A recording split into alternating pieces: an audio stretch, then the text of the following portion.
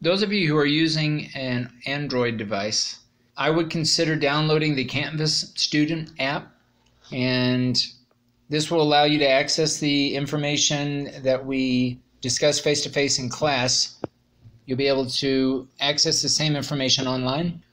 So it'll look something like this. Um, this is a course that I took some time ago, but you'll notice you can access announcements, modules, assignments, etc.